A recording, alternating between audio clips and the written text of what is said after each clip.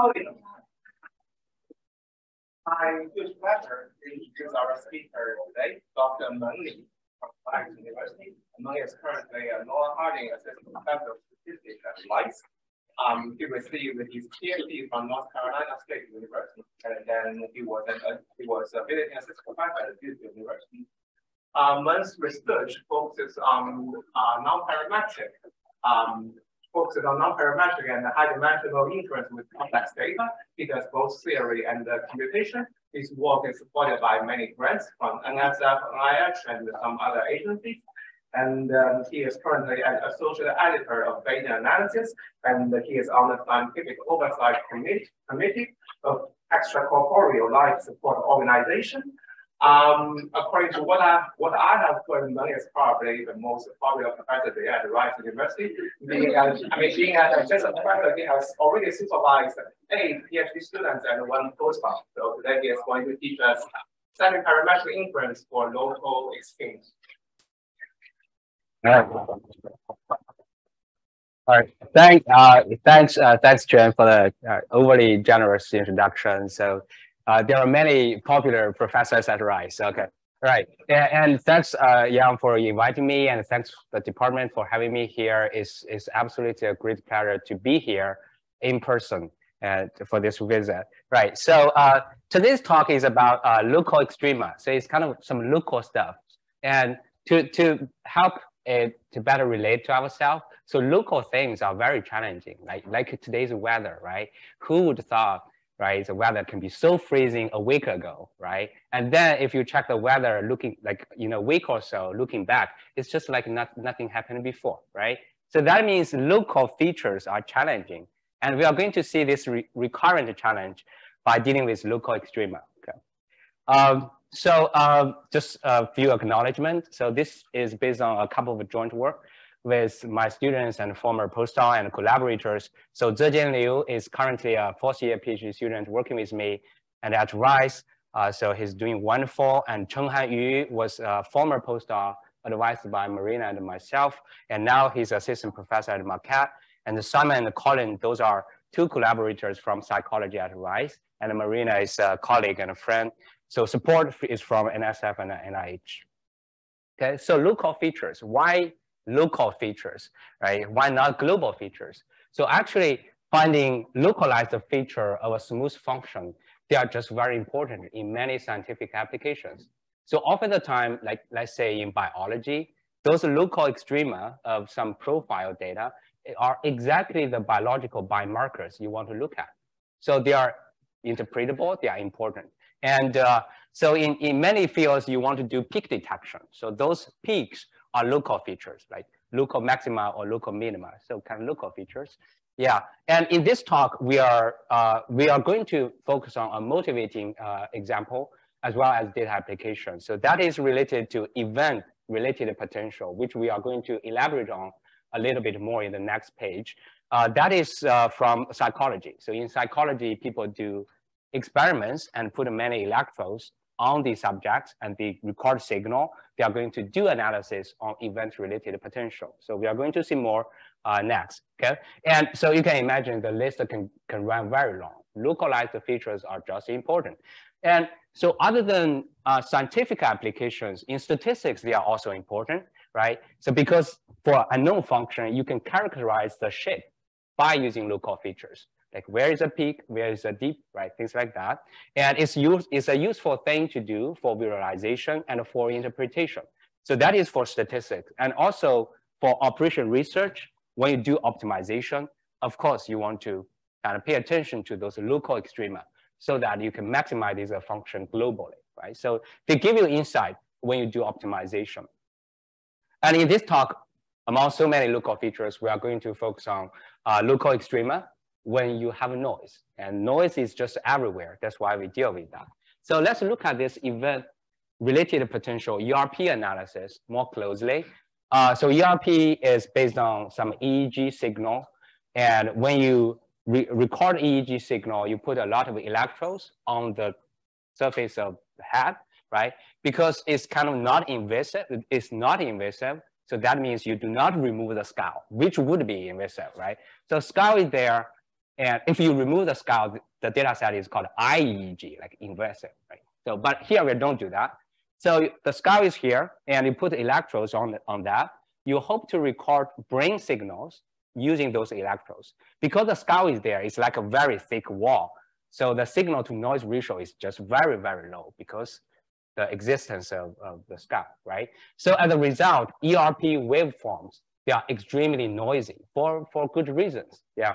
And so here are, uh, here are, okay, so let's, so you see, those are EEG uh, signals. They are very noisy. They are corresponding to the same event, the same task, and you see those signals. And uh, they are barely interpretable if you just look at one waveform. So what people do in this field is to collect many. So for one subject, sit here, do your experiments for a period time, like one hour or so. And I'm going to collect many, many trials for the same patient. And also I'm going to repeat my experiment across different subjects. At the end of the day, I'm going to average all that. So per subject and across subject, average all those data to have my kind of population level ERP. And you are going to start to see something like this. Smoother, looks nicer, right?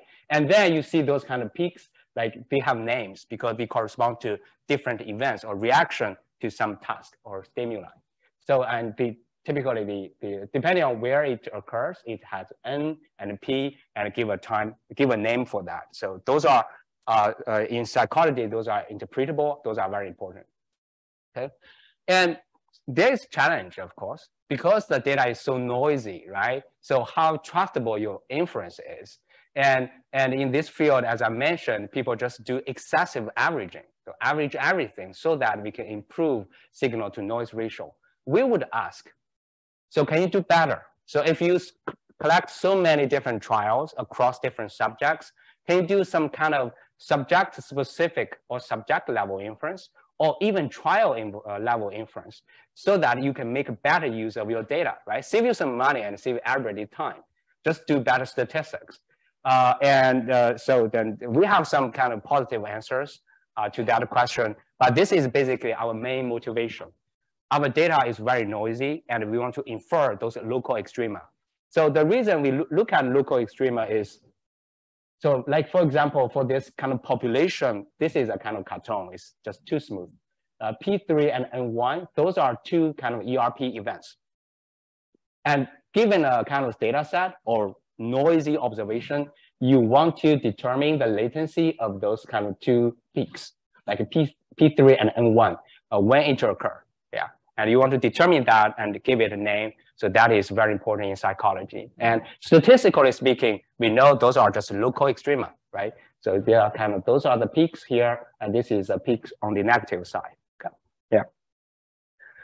All right, so it's not difficult to formulate this statistically. Let's say we have a regression function f, and we have some noise. We have to have this noise term because our data has a lot of noise. And we want to infer those stationary points uh, Tm. And if you give me like the number of, of stationary points or local extrema, uh, we can write a function in this way. So this is our constraint. Okay? And often the time we don't know this capital M. We don't know how many there are, right? Uh, you probably have a rough idea like how many you should expect to have, but exactly the number of M is unknown to us, right? So this is a regression model. You have the additional kind of constraint on Tm, but that's just a shape constraint right? It's, it's uh, uh, the only difference here is instead of doing inference on F, we are more interested in TM, those stationary points or local extrema. So this is our kind of uh, uh, the, the, the object we want to draw inference on. And so this is also part of the challenge because uh, they are not the global function F, they are local features TM, right? Local features can be very irregular, irregular like local weather, okay? And uh, and uh, for F, it, if you have it, that's good, but it's not the kind of most important thing in this, in this work or in this program. So to relate that to ERP application, uh, those Y's would be ERP time series observation. So you have noise observation. And those F would be the underlying smooth ERP component. So very smooth. And uh, it's like the population level ERP. And you have M ERP components at T1 up to TM such that the first order derivative is equal to zero. We want to find those TM, potentially draw inference about those TM. That is our goal. Estimate them and quantify uncertainty in your estimation. For F part, it's we, we just have too many methods for that. It's nonparametric regression problem. Uh, if you are Bayesian, you can do the Bayesian way, like Gaussian process, random series prior, all you can imagine, right? If you are frequentist, you can do basis expansion and many basis choices for us, right? So it's kind of a very mature literature. We know how to do that. So here, let's just grab GP. But actually, in general, you can use random series and some other prior, some other approaches we just mentioned. So uh, give it a GP prior Gaussian process. Uh, just to review, for GP prior, you just need to provide the mean function and covariance kernel. That is our mu and, and kernel, okay? And, and then uh, we have uh, a couple of choices for kernel, and we know how to do that. Theoretically, they are very sound, and practically, we have good uh, computationally scalable approach to do the computation, okay? So this is all good uh, for unknown function f, nonparametric regression. But now our challenge is about t. So where is t? Okay? So the question is how to encode the derivative information into this GP or any chosen nonparametric approach and how to use it to infer t. Okay? Yeah. And so the good thing about GP is the derivative of GP is also a GP, right? So we, we probably know this because derivative is a linear operator. You kind of take linear operator of GP, you get another GP, okay? And we can define a derivative constrained Gaussian process by doing conditioning. So condition, like you give me a GP, I tell you that at t point, the derivative is equal to zero. Doing the conditional, doing the conditioning then you are going to get another GP. So we can define, using that conditioning trick, we can define a derivative constrained GP, DGP. And uh, so the for any given kernel you start with, the mean function would be like this, and the covariance kernel would be like this. So this kind of is a new Gaussian process because it's related to derivative constraint. So we call it DGP, derivative constraint GP. So any t vector, any, it doesn't need to be the ground truth, just any vector we can define this way. Okay? And the property is it will give you a Gaussian process such, such that if you draw sample paths from that Gaussian process, evaluate the first derivative of all those sample paths at t, the derivative is equal to zero. This is how you derive this, so it's not, it's not a surprise, right? And but still, let, let's look at this sample path visualization just to convince you DGP does what it's supposed to do. All right, so the left-hand side, this is just a Gaussian process with squared exponential kernel, no constraint. And from that Gaussian process, we do the conditioning and derive the DGP. And at point at a given point, x equal to negative four and positive four, right? And you would see those all those sample paths will satisfy that first order derivative at those points are equal to zero. So they are kind of regularized in terms of a derivative, right? By design, it had to be this way right? And, and then you can play the kind of Bayesian uh, machinery and uh, you have a derivative constrained Gaussian process and you hope to infer T, but you don't know it. What you do? Give it a prior, right? Give it a prior, uh, use Bayes theorem, get your posterior distribution, right? So let's kind of do this one time and then let's talk about the pitfalls of this approach. So Recall that T1 up to Tm are those parameters we hope to estimate. You have m of them. Just for a moment, we assume we know those uh, this m number. So m is given to us. Actually, let's assume even more information. Uh, we assume for each local extremum, we know roughly the location. So basically, given a zero to one interval, we know the partition of, the, of zero to one such that each interval encloses one and only one local extremum point. So you know where they are. You don't, you, you know how many there are and you know where they are, right? So that's a lot of prior knowledge, right? But let's assume so. So this, this assumption uh, is very restrictive and not really practical, but it's a strong benchmark because you use so many, so many kind of useful pieces of information in the prior specification, okay? And the nonparametric quantity f is a nuisance parameter. We are not interested in it, so we can marginalize out. And other than f and t, you have some other tuning parameter in this approach. For example, if you choose a kernel, you probably have some kernel-based parameter. Let's use theta to denote all that. So if you use squared exponential, you probably have two parameter, hyperparameter, like a tau and h. h is a bandwidth parameter, but you just have two of them, so not too many, yeah. And in addition to all that, like t, f, data, you also have sigma squared, the variance of your noise. Okay, so this is kind of a sort of oracle setting. We have the prior setup. You can draw posterior inference. Okay, so let's do that. We develop a uh, Monte Carlo uh, EM algorithm to do parameter tuning and posterior inference. Uh, it's, kind of a little bit stand, standard, but the, the reason we kind of pick this algorithm is you can use EM algorithm to do parameter tuning, and also you do uh, posterior update right? So the algorithm looks like this. In the E step, you draw samples of any unknown quantity, like T sigma square, just draw samples. And uh, in the M step, you maximize the marginal likelihood of your unknown parameter theta, that is your hyperparameter, maximize it using MAP by maximizing the posterior distribution in some way to tune your theta. So this is a kind of routine procedure to select hyperparameters. Yeah. Okay, and then you just iterate until you reach convergence. At the end of the day, you have your hyperparameter tune, uh, tuned, and you also have your posterior sample. Okay? So you can do your posterior inference.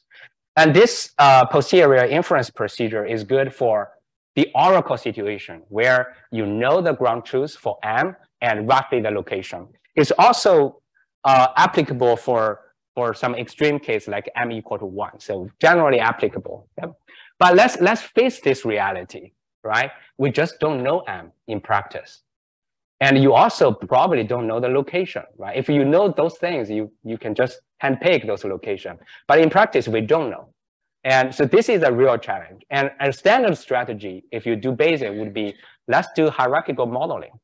So I don't know M, give it a prior. I don't know location, give it a prior, right? So whatever we don't know, give it a prior. Oh, wow, it, it, it, it would work but it's just kind of not, not that good in terms of uh, computation. So the real challenge is actually, I list a couple of representative challenges here because the dimension of T is unknown, right? So that means you have a varying dimensional parameter. If you change M, if you give M a prior, let's Poisson distribution, let's say, right? For different M, you have a different dimension for your T. And then how do you kind of draw sample to make sure you have a good mixing. That, that's kind of nightmare, right? You probably can consider reverse jump MCMC, but the mixing issue and how do you kind of improve sampling efficiency, those are kind of daunting challenges, right? And although you could do that, we just don't think that would be promising, right? It's, it's just very difficult. And we instead consider a new proposal. So this is a key novelty of our proposal. And we just assume a univariate prior on T. We know that you, you have M of them, M is unknown, M could be one, could be two, could be three, that is your ground truth, right? But in the prior specification, we just assume you have at least one. We just deal with one dimensional T and give it a one dimensional prior. So basically you just assume, as I said, we assume at least you have one stationary point in the true function, at least one, right? We don't control how many. Like the strategy above using reverse jump MCMC would have a tight control, but instead we don't do the tight control thing, right? So conceptually, it's just like, you know, like there are some parents who want to control everything, like your kids need to do this, do that. And there are some parents who are a little bit hands-off, give you some flexibility, right? And then uh, it might work, so this is our proposal. And a univariate priority uh, has some kind of merits. So first of all, it gives you efficient computation because you just assume T is one-dimensional question. So um, if you fit it this Gaussian process without any constraint. Yeah, without any constraint. Yeah. yeah. And then you can get it stationary points. Yeah what would go wrong if you just did that? Sure, great question. So, so the, the procedure works as follows. You feed a GP, no constraint at all. You get your posterior distribution. And then you want to get the station, stationary point of all your posterior samples, right? So there are a couple of issues. So first, this is kind of um, uh, inverse problem, right? So the posterior sample of, from that Gaussian process might have many, many stationary points. And if you draw different samples, the number of stationary points may differ from sample to sample. It's very difficult to align them. Yeah. And actually, we compare this proposed approach with uh, something similar to what you just said. So basically, you fit a nonparametric regression and then do a second step, stationary point extraction. So typically, it's not stable yeah. particularly when you have noise. Yeah, we are going to, it's a valid approach. We are going to compare with it. Yeah, sure. Uh, well, it's time series data, but we just view that as a regression problem. Yeah, so, so for now, yes. For this general framework, we do not have have correlated epsilon i, but yeah, that we, we can extend to that. Yeah. Okay, so let's let's for now let's have some hype for this proposal, right? Yeah, so why is so good, right? Uh, so first of all, it's efficient because it's univariate, right? Univariate, right? How hard could it be? Just one dimensional thing, and simple, conceptually simple, computationally simple, right? And uh, also because we just assume at least one, so you do not misspecify m, right? If you specify a m, even a kind of a lower bound and upper bound, you probably have some chance to misspecify it. But now just at least one, you cannot go wrong with this, right? Yeah, it's just like too liberal maybe. But if you well control it later, then probably it's, it's doing the right thing, right? So we, we, we see a lot of merits in this approach, but it's a little bit unconventional. And before we proceed to the theory part, let's see a proof of concept. Yeah, just use this toy example. So this is a 2f. This is a 2f. There are two stationary points, T1 and T2 are those two values. And sample size and how we generate X, they are given here. And we replicate this experiment using 100 uh, independent data sets. Okay? And we uh, compare two approaches, just for now. First one is called single DGP, which is a proposed, which is a proposed method. The one-dimensional, univariate, easy okay? And easy to compute and easy to understand, but let's see how it works. And a multiple DGP, that is uh, the Oracle DGP. You know the true M and you know the location. So you know a lot of things. It's not realistic, but let's just compare these two, okay? And for both methods, we run the MCEM algorithm for parameter tuning and for sampling, okay? Let's see what happens. So the top panel give you the fitted curve. And so the fitted curve, as as we mentioned before, is not very important. Let's just directly go to the posterior distribution of T. You have two T, okay? So the left panel give you the distribution of T uh, in a multiple DGP framework because you, you have disjoint intervals. So, and expectedly, you should have like a two distributions, one for left and one for right. You are using the right information. So there within each interval is bell-shaped. So it looks good. Yeah? And let's look at the single DGP thing. Right? This, you uh, just assume a univariate T, although you know the true M is equal to 2. Let's see the posterior distribution of T. It is bimodal, right? But also interpretable, right? Because if you compare the two shapes, although they are not the same distribution, but the right one is, is kind of interpretable in that it has two modes if you do a right posterior summary, then you can estimate M with two very easily, right? So it shows some promise. Is that a potentially a question? Sure. So your method is basically finding the most pronounced extrema in a particular sample? Yes. We want to find all of them. Right, but you're only picking one. Oh, we are going to pick all of them. Well, ultimately, after you've done, after you've done sampling, yeah. each sample is giving you one value. Uh, each, uh, yes, each sample give you one. Then you collect all of them, you will have a distribution. That's correct. Yeah. Yes. So we look at the shape. They look similar, and this one looks promising. But now you need to have a good posterior summary to tease out that useful information. uh, using this uh, traditional approach, right? A reasonable thing to do is just HPD, highest posterior density region, right? So look at this one. If you draw a ruler here, like here, to make sure the posterior distribution covered is, uh, is covered by 95% probability, right? You would get those two modes for sure. And they are quite accurate, right? So those, this is a kind of proof of concept shows us if you use the uh, univariate as a prior and you couple that with some intelligent posterior summary, you could get a good estimate of M. And you can also get an interval estimate for each T, right? As, as a proof of concept. And let's recap. Like, sure. Hard to get a certainty of joint of T? Yeah. It's hard. Uh, it's I agree it's hard. We are going to get it. Yeah. Right. No matter how hard it is. Yeah. Uh, yeah. In a frequency sense. Yeah.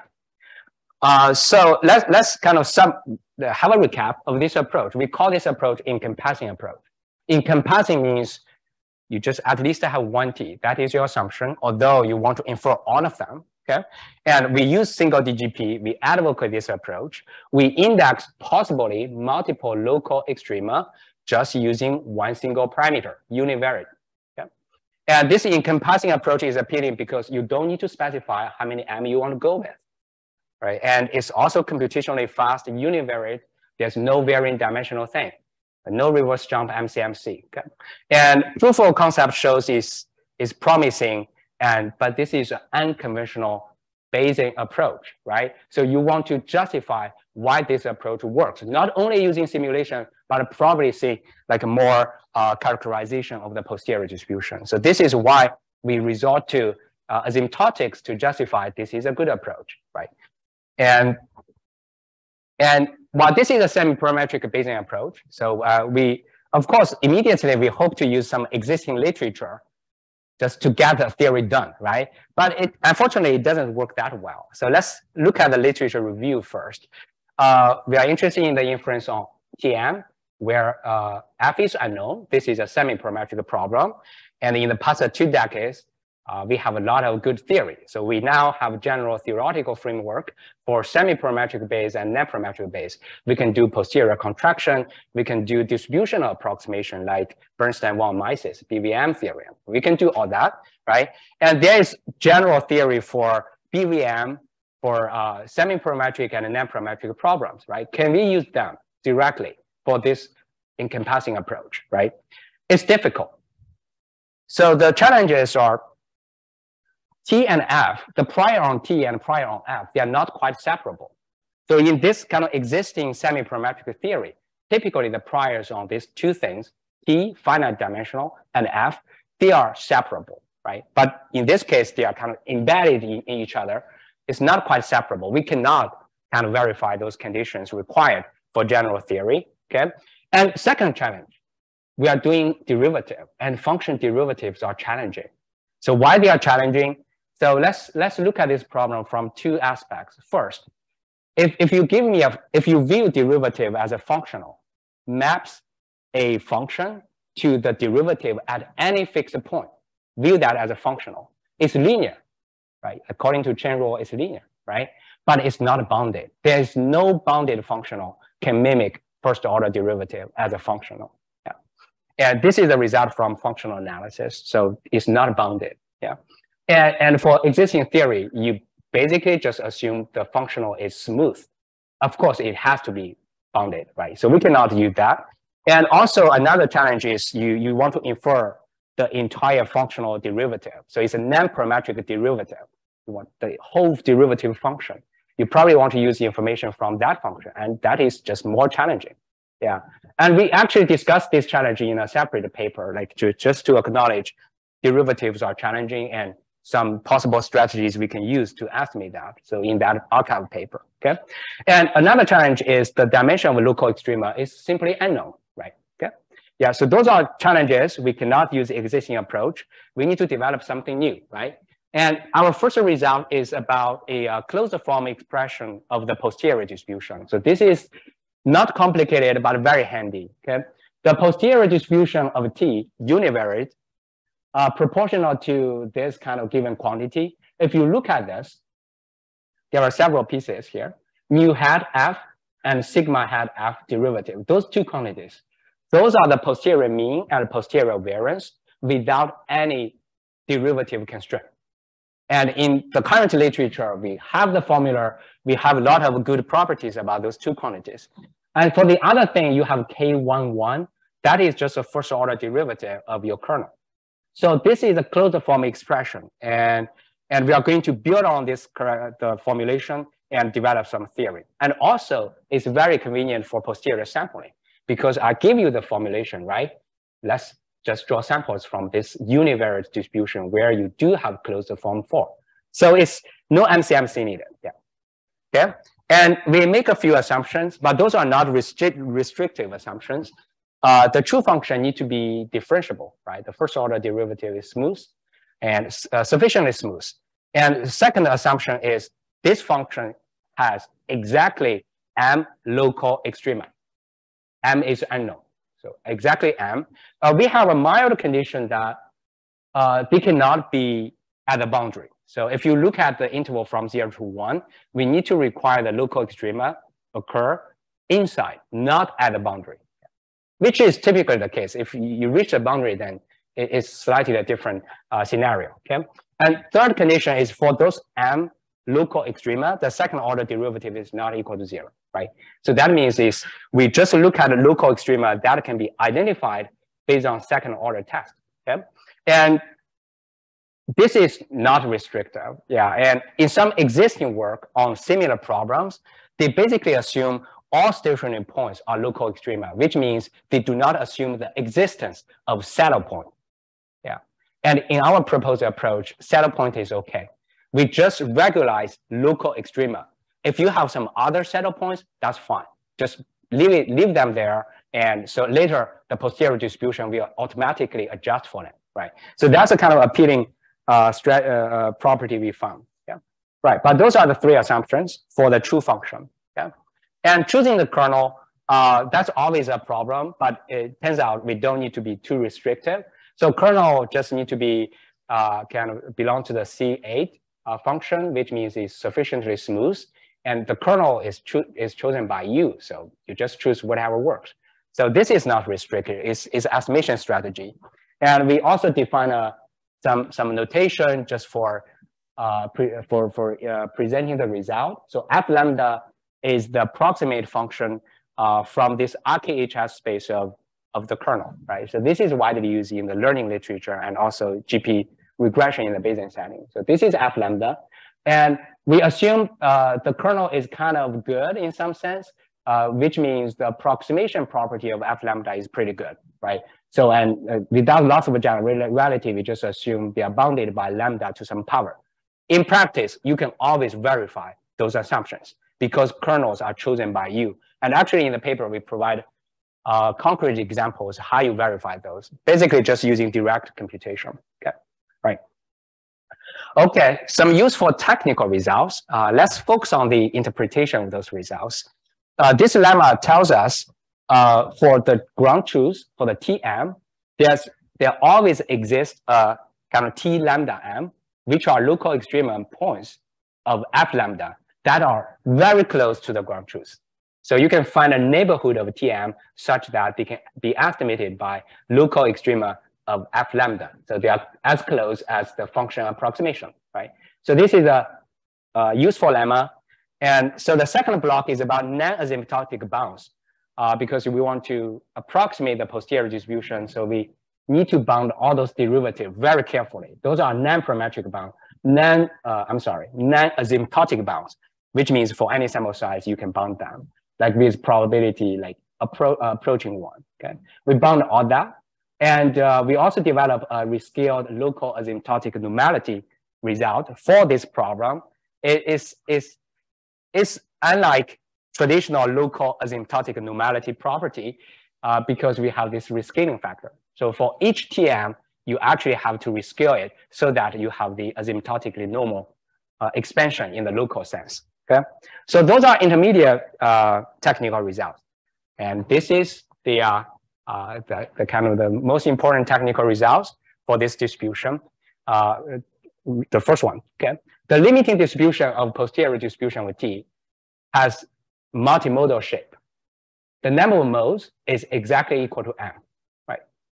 We do not use any information in the entire estimation procedure, but the posterior distribution, asymptotically speaking, will give you this multimodal distribution.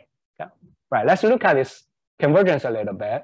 So this is your true posterior distribution using in, in, in encompassing Bayes proposed approach. The target distribution is a mixture of normal. This big phi, that is a normal CDF distribution. Pi m, there are some weights. Okay? They are very close to each other, right? And for this mixture normal distribution, we know how to plot it. We know a lot of the things. We can get a quantile, we can get HPD. We, we know this one very well, right? Because this is a given distribution. So, and this theorem tells us the is a limiting distribution of your posterior distribution just is a mixture of normal, where the center is at the ground truth and the variance is given by this formula. Okay? So this give you the rate. Yeah, yeah. and give you the weight too. So this is part one of our uh, main theorem. Part two is if you do proper rescaling and uh, truncation, you can convert your posterior distribution, which would be multimodal, uh, to a unimodal distribution within some intervals, right? So directly implied by part one. Okay, Let, us look at those interesting comments. Yeah, and sure, yeah. Uh, very nice. Um, regarding the weights, yeah. Is it the case that by, do you have any information on the ordering of these weights? Like, is it highest at big M or because you, you do have actually M modes? We do have M modes, right? You mean the relative height of those M modes in the posterior density? Yes, you're getting this uh, mixture because yeah. your prior is saying you have at least one, so yeah. it's splitting the mass over one, two, three, and all the way up to M. Uh, regarding so, so that's why that's Sure. Yeah, maybe let, let's look at a numerical example to see the true density function. And so actually it will display all M at the same time. Yeah, according to some mechanism, right? Yeah. So we will come back to that question uh, once we are there. Okay. So comments, um, we like this encompassing approach, right? Not only because it's simple, straightforward, efficient, but also because asymptotically it gives you the right thing, M modes, and centering at the right Tm value, okay? And let's see the effect of curvature. And if the curvature is f second order derivative, right, it shows up in the variance. If the true curvature is very large. That means the Gaussian component is very concentrated. Yeah. And so it's very tight. Okay. We like that because that means less uncertainty. Okay. And and if f, the curvature is essentially zero, then it disappeared in the posterior distribution. So it that's why it automatically adjusts for saddle point. Saddle point does not contribute to the posterior distribution asymptotically. That's why we don't need to assume anything about saddle point. Okay? And the mixture weight is also proportional to this quantity. And that gives you some nice cancellation so that the posterior density will not kind of ignore a true TM if the curvature is very small. Actually, roughly they're the same. Okay. So let's look at a simulation to, to really elaborate on these comments. Okay. And the prior weight is very important. If your prior weight is uniform, it has zero effect in where the posterior mode should be. But if you have a very informative prior weight, then it will reflect in the posterior distribution. Yeah, right. And so before the simulation result, let's uh, see another two implications. Uh, point estimates and uncertainty quantification. Point estimates, if you grab your posterior distribution pi nt, that is a posterior distribution with a closed form expression, okay? And asymptotically, this posterior distribution has exactly m local extrema. So this is a random quantity, and asymptotically, it has exactly m local extrema. And those m local extrema, denoted by tmn, is very close to tm. So that is that give you consistency, right? And uh, it's practically relevant. The practical implication is if you use 95% HPD region highest posterior density region, then you are going to estimate all that. Yeah, for sure. right? You can change this value 95% to, let's say 80% to 99%. Asymptotically, they all behave the same, right? So you can use this posterior summary approach to get the estimates of M and also your estimates of T. So you, you have both of them by using HPD as your posterior summary technique. This is about point estimates.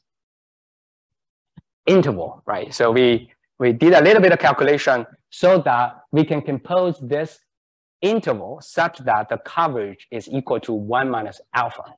When alpha equal to 0.05, that would be a 95% confidence interval for your TM? For each of them, okay? And uh, there are some unknown quantity in this interval, right? Let's say you have sigma and you have this true F0. We just do plug in. So whatever you don't know, plug in a consistent estimator, give you the right uh, interval estimates. Yeah. And this is interval estimates. So now let's come back to the joint interval thing.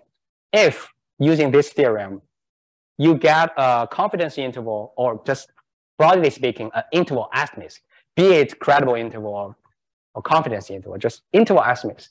And the coverage is one minus alpha for each of those TM points, right? And uh, in order to have a joint interval, there are many things we can do, but for simplicity, we just use Bonferroni. So you have a joint confidence interval for all T's. And so uh, uh, brief comments, how we tune those unknown parameters like sigma, kernel-based parameter, we just use maximum marginal likelihood without any constraint. So typically you have, you have closed form expression for the maximum likelihood for the likelihood function, and you just maximize it, right? And we like this approach because it's computationally efficient, and also we have strong uh, support for each of them. If you estimate sigma this way, it's consistent, actually stronger than consistent. It's mean square consistent. And for uh, parameter tuning for the kernel, like bandwidth parameter h and tau, we can show that uh, they are kind of adaptive to the derivative order, which means the optimal choice of those two tuning parameters would be the same, no matter you are estimating the function itself or the derivative of this function. Yeah, the same tuning parameter. So this adaptivity is, uh, is not commonly shared. For smoothing spline and the local polynomial, you don't have this. But for kernel-based approach, you have that. So we like this approach uh, for tuning. And as we mentioned, no MCMC needed. Very fast, closed form expression, univariate, just do it, all right? And uh, so remark to verify uh, conditions required by those two theorems, uh, you just do some direct calculation. So in the paper, we provided two examples, uh, like a Hölder space and analytical function space. Okay. Now let's see uh, simulations. Okay? So this is the true function we are using. And there are two, uh, there are three T's, T1, T2, T3. This is a simulated data set with size 100, okay? Right. And uh, let's compare with this method. So those are, we, tried a lot. We tried to search the literature and, and find a few. Those are the best we can, we, we can do. We found those approaches, uh, uh, the kind of smooth the taut string approach, STS, and some modification with that. So basically the first two approaches taut string, the original one and the smoothed one, they are closely related. So the second one is a uh, Annals paper. The first one is a CSDA paper. Okay, and third approach uh, is non-parametric kernel smoothing method by Song uh, and co-authors. That's a biometrics paper in 2006. So the, it works as follows. You estimate the function using uh, kernel smoothing, and then you find a local extrema based on your estimated population mean very similar to the GP without any constraint, right? So let's see the performance of this approach. And here they are using kernel smoothing, but conceptually you can use GP regression, right? And without any constraint and do a second step extraction of local extrema. Okay? And so let's first look at our approach. This is a posterior density. I think this one is useful to really demonstrate what's going on here with this encompassing Bayes approach uh, we are using one simulation, two different priors, uniform and beta 2, 3 at the prior for T. Okay, and we have three sample size. I can read here. Uh, the smallest one is one, 100, go up to 500 and then uh, 1000. Okay, so three colors. And let's say the largest one, which is a black curve. So you see the three modes and, and the dashed line are the ground truth. Okay, so they center at those ground truths, right? Give you that behavior as expected. If you change the prior, then the relative height will be changed. So prior has an immediate effect, right? But if you do a HPD, no matter you are using the prior on the left or the prior on the right, you are going to get these three modes for sure. And your estimates of M will be three. Okay? And so the relative height of those three, uh, three modes are kind of equal uh, if you use a uniform prior. Uh, so this is a, uh, a, summary for estimated M. So the, the basic take-home message is uh, M, M is large, then with high probability, we can estimate M hat equal to three, yeah, for our approach. And for the other approach, let's pick NKS, which is the two-step approach, first estimates and then uh, uh, tease out the TM hat information.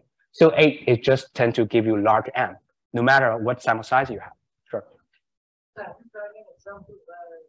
are all extreme of it's, it's skewed, but Wow, yeah, that's uh, or we did not try that, but we tried something similar. We have one local extremum point for the function and one saddle point.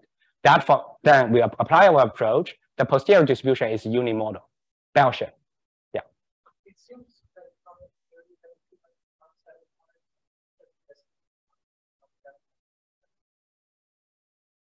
Uh, that would be my expectation. Yeah. All right, so let's see some numbers uh, for the sake of time. Uh, so our approach is just the best, RMSE, yeah, smallest one, yeah. And coverage of confidence intervals uh, using the interval estimates we proposed just give you the thing you expect to see. Right, uh, a caveat, sample size is equal to 100, we cannot achieve that.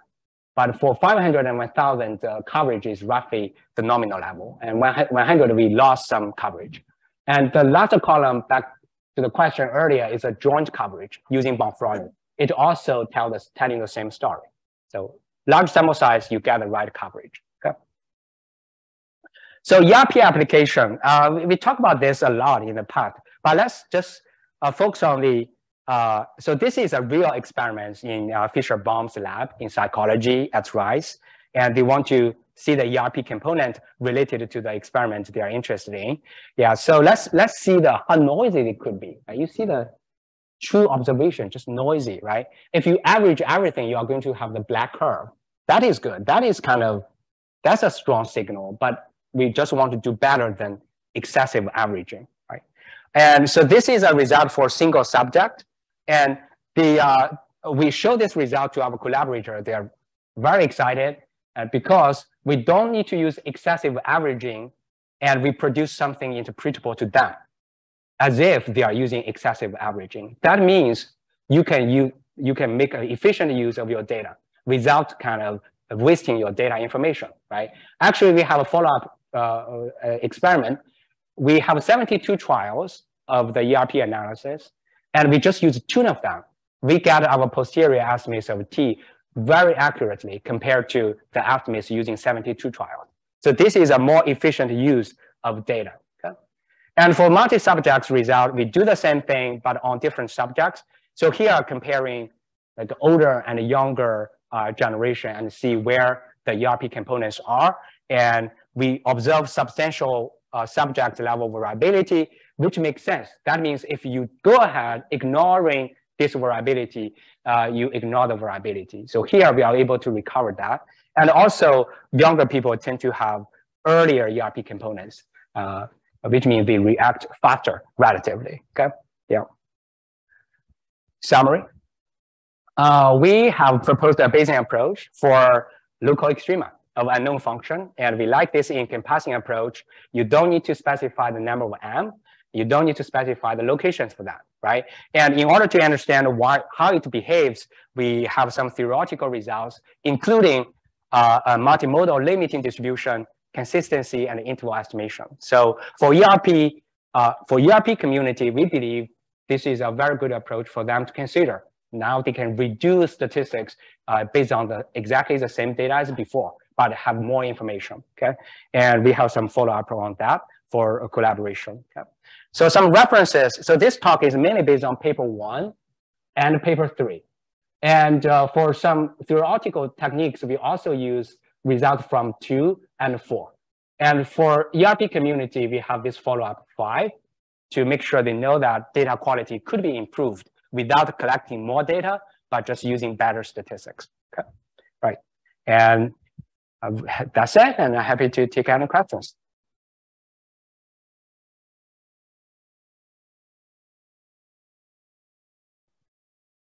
In practice, do you have experience more separating the endpoints? Because the endpoint like uncertainty what happens to the can actually a lot of You mean at the boundary? Yeah, the boundary, you get spurious modes. I see. Yeah, the, so that's a great question. So we, we find that in ERP analysis. At the boundary, you tend to have some local extrema, right? But you can uh, uh, you you can kind of uh, bypass that issue by using a more slightly more informative prior. So let's say instead of a uniform prior, you use a prior that put more weight in the middle, right? So it doesn't mean the true extrema do not exist at the boundary. It just means if they exist at the boundary, you are not interested in them, right? So you can use prior to, to for that purpose. Sure. Maybe I missed that point, but is there any way to, uh, I guess, get uncertainty of M? Because you have a point estimate of M. Yeah, that, that's a great question. Yeah. Is that possible? Uh, I think that's possible. We haven't done that. We haven't done that. So the reason, there are a couple of reasons. If you do, let's say now for any M hat, we estimate M hat, and then we have uncertainty quantification for T. So that is something that, that is kind of advancement to us. And, and then if you want to talk about uncertainty on M, the downstream inference for uncertainty of T will be problematic. So you need to deal with post-selection inference more carefully, which we believe interesting, but a little bit challenging for now. Yeah. So that's a, that's a great future direction to consider for sure. Yeah. Yeah. I was wondering, is it possible that say two local extrema are kind of dependent? Say the identification of one extrema highly depends on the, the successful identification of the other. Yeah. Uh-huh. In which case, your univariate approach may have some. Sure. Yeah. So if you have dependency on those extrema thing, then uh, uh, you want to adapt this approach. Actually, we have some ongoing work for that. If you have different subjects, you believe they belong to the same population, but with some variation. So those T's will be related, but not exactly the same. So you can kind of play with those multiple DGP thing to relate those T's, right? So that means if you do have prior knowledge to assume a specific correlation structure, you can use it in multiple DGP setting. Sure.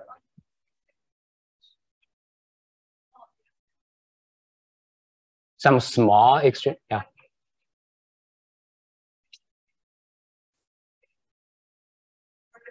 A very, a very small bump. Yeah. Okay.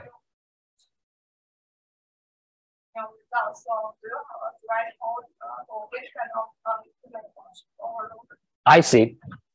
Yeah if you, you have that kind of prior information about which small bump you want to overlook, you can use it. Because after you get the posterior distribution with T, you can estimate your function very easily. You can see how small they are. At this point, we are not doing thresholding, right? Uh, so because um, we want to get all of them, and HPD will automatically thresh out some very small bumps. Yeah. So I would say in order to achieve the purpose you just said, you want to couple the posterior distribution with T and the inference about the F function. Couple these two things and to, to, uh, to obtain a good threshold. Uh, let's thank our speaker. Thank you. Yeah.